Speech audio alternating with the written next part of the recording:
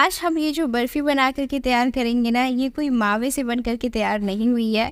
और सबसे ख़ास बात है, ये शुगर फ्री बर्फ़ी है तो जिनको चीनी नहीं खानी है इस रक्षाबंधन में जिनने एकदम कसम खाई हुई है कि भाई हम तो चीनी वाली चीज़ें नहीं खाएँगे।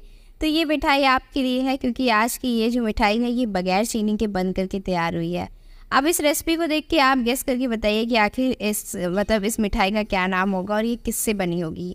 बाकी वीडियो स्टार्ट करने पर तो मैं आपको बता ही दूँगी कि आखिर ये किस चीज़ की बर्फ़ी है। ऐसी मक्खन जैसी बनेगी ना कि आपका मन चाहेगा कि एक नहीं, एक और पीस हो जाए इसका। तोड़ के दिखाती हूँ, अंदर से बहुत सॉफ्ट और एकदम रसीली जैसी है ये। ये देखिए कितना ज़्यादा अच्छा इसका टेक्सचर आया है और बिल्कुल परफेक्ट सेट हुई है। तो आज हम बनाएँगे उर्द दाल की बर्फ़ी। तो यहाँ पर हमने धुली वाली उर्द की दाल ली है। इसको आप चाहें तो एक कपड़े से जो है अच्छे से पोस सकते हैं ताकि इसकी जो डस्ट है वो निकल जाए। और सिर्फ़ एक कप ही हमने उर्द की दाल ली है। यहाँ पर हमें उर्द की दाल को इस तरीके से भून लेना है। तो लगातार चलाते हुए आप इसे बिल्कुल धीमी आँच पे भून लीजिए। आप चाहें तो इस रेसिपी को मूंग दाल से भी बना सकते हैं। ये दोनों दाल से बन जाएगी, चाहे तो मूंग दाल की या फिर आप उर्द की दाल से बना सकते हैं। इसके लिए आपको बहुत सारा दूध नहीं चाहिए है। और ना ही आपको इसके लिए बहुत ज़्यादा घी चाहिए है। तो कम घी में, कम दूध में, बिना मलाई, बिना मावा, बिना मिल्क पाउडर, बहुत ही बढ़िया सी ये जो बर्फ़ी है, ये बन करके रेडी हो जाएगी। तो अभी इसको भूनते हुए मुझे चार से पाँच मिनट हो गए धीमी आँच पे। अब मैं इसमें ऐड करने वाली हूँ सेमोलिना, यानी कि सूजी, रवा जिसे हम बोलते हैं। एक कप ही हम इसमें सूजी या रवा ऐड कर देंगे, दोनों एक ही चीज़ें होती हैं। इसे भी हम इसके साथ में भूनेंगे। तो पहले आप थोड़ा सा दाल को भून लीजिएगा, क्योंकि उसमें थोड़ा वक्त लगता है। और फिर इसके बाद जो है हम सूजी को भूनेंगे। तो यहाँ पर जब तक दोनों चीज़ें अच्छे से ब्राउन नहीं हो जाती हैं, तब तक हम इसे भूनेंगे। तो इसे आप लगातार चलाते रहें और बगैर घी वगैरह डाले हम बस इसे अच्छी तरीके से रोस्ट कर लेंगे। जैसे ही आप देखिए दोनों चीज़ों का अच्छे से कलर चेंज होने लगे, उस स्टेज पे आप गैस को बंद कर दीजिएगा। अब देखिए, लगभग आठ से दस मिनट हो चुके हैं। धीमी आँच पे मैंने लगातार चलाते हुए भुना है और इसका कलर अच्छे से चेंज हो गया है। तो बस इस स्टेज तक हम इसे भूनने वाले हैं। अब मैं गैस को बंद कर लूँगी और बंद करने के बाद हम इसे उतार लेंगे। उतारने के बाद हम इसे फ़ौरन से ट्रांसफ़र कर देंगे एक बड़े बर्तन में, ताकि ये जो है ठंडा हो जाए अच्छे से, और इसके बाद ही हम इसका आगे यूज़ करेंगे। तो यहाँ पर आप एक सॉस पैन लीजिए, उसमें हम डालेंगे गुड़। तो यहाँ पे देखिए, नॉर्मल गुड़ ही हम यूज़ कर रहे हैं।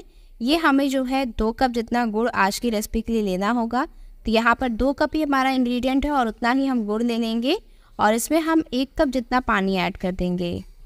अब इन दोनों चीज़ों को हमें जब तक कि ये मेल्ट नहीं हो जाता है, तब तक इसे पकाना होगा। सेम रेसिपी को आप चाहें तो चीनी से भी बना सकते हैं। चीनी से भी ये रेसिपी बन जाएगी और फ्लेवर भी अच्छा ही आएगा। तो गुड़ से बनाएँ, चाहे चीनी से बनाएँ, ये आपके ऊपर है, आपको गुड़ खाना है या चीनी खाना है। तो अब जब तक इसमें गुड़ अच्छे से मेल्ट नहीं हो जाता है, तब तक हम इसे पकाएँगे।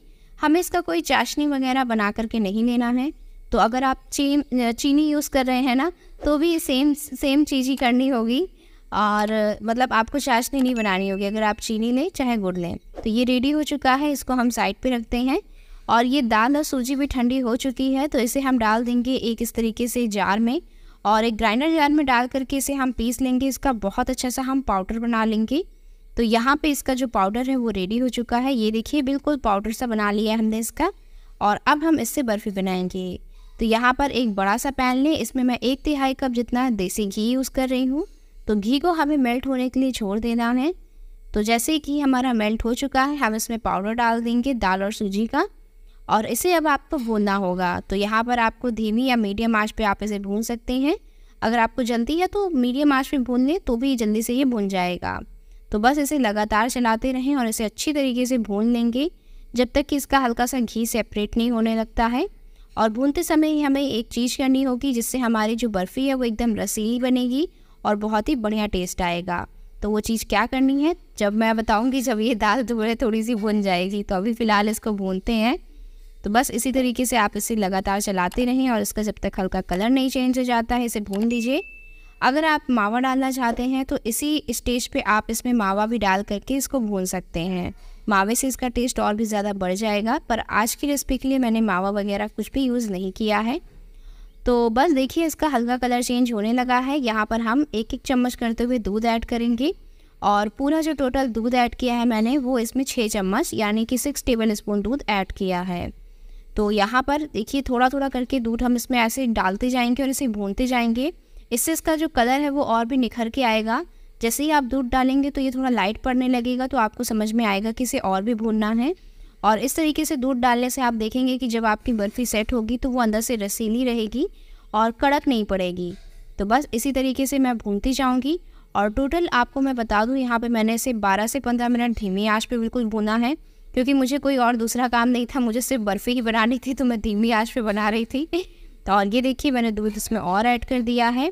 तो जस्ट जैसे जैसे आप दूध ऐड करते जाओगे ना, ये जो दाल और सूजी का मिश्रण है, ये बहुत ही हल्का होता आपको नज़र आएगा।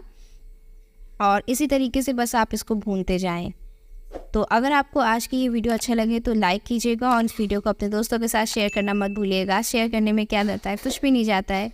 फ्री होता है शेयर का बटन तो प्लीज़ शेयर कर दीजिएगा वीडियो को, बहुत अच्छा लगेगा। और ये देखिए, इस तरीके से हमारी जो दाल है, वो ऑलमोस्ट भुन चुकी है, बहुत ही लाइट हो गई है। और अब हम जो है, इसमें जो गुड़ का पानी था ना, उसे छान करके इस तरह से डालेंगे। इससे क्या होगा कि जो गुड़ की इम्प्योरिटीज़ है, वो निकल जाएँगी और बस अब हम इसे अच्छे से चला लेते हैं। तो यहाँ पर अब इसे पकने में बिल्कुल वक्त नहीं लगने वाला है। आप देखेंगे पाँच मिनट में ही ये जो मिश्रण है, वो पूरी तरह से जितना एक्स्ट्रा पानी है, वो सारा सोख कर लेगा और इसका घी जो है, वो सेपरेट होने लगेगा। तो ये देखिए, बिल्कुल गाढ़ा हो गया है और तुरंत से इसने घी सेपरेट करना स्टार्ट कर दिया है। तो मतलब कि जितना हमने घी डाला था, एक तिहाई कप आप उसमें भी थोड़ा कम कर सकते हैं। और ये देखिए, बहुत अच्छे से जो है ये पक चुका है। अब इसमें आप थोड़ा सा रोज़ वाटर डाल दीजिए, लगभग चार से पाँच बूंद आप रोज़ वाटर की ऐड कर दीजिए। और इसी के साथ थोड़ा सा इलायची का पाउडर भी हम इसमें डालेंगे और इसे भी अच्छे से मिक्स कर लेंगे। तो आपको तभी तक पकाना है जब तक कि ये घी नहीं सेपरेट कर देता। और ये हमारा अच्छी तरीके से पक चुका है, अब इससे हमारी बर्फ़ी जो है वो अच्छे से सेट हो जाएगी। तो बस अब हम गैस को बंद कर देंगे। और बंद करने के बाद जो है मैं इसे जो है इस तरह से एक ट्रे में डाल रही हूँ। ट्रे को मैंने ग्रीस नहीं किया है क्योंकि ये ग्लास की ट्रे है तो आराम से निकल ही जाती है बर्फ़ी वगैरह।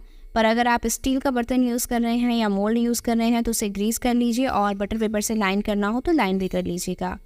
तो बस अब ऊपर से मैंने इसमें वाटरमेलन सीड्स डाली, थोड़े से पिस्ताचूस डाले ऑलमंड्स डाला कट करके।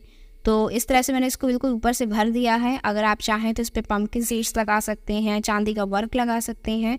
और भी ज़्यादा इसे सुंदर बना सकते हैं। इसको सुंदर बनाना तो हमारे हाथ में है। जितना आप इसमें ड्राई फ्रूट डालोगे ना, ये उतना ही ज़्यादा सुंदर हो जाएगी।